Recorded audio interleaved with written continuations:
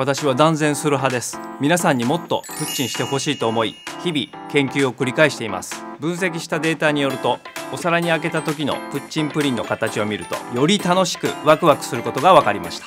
さらにこだわりの卵と乳をしっかり味わいたい人はプッチンするのが断然おすすめです。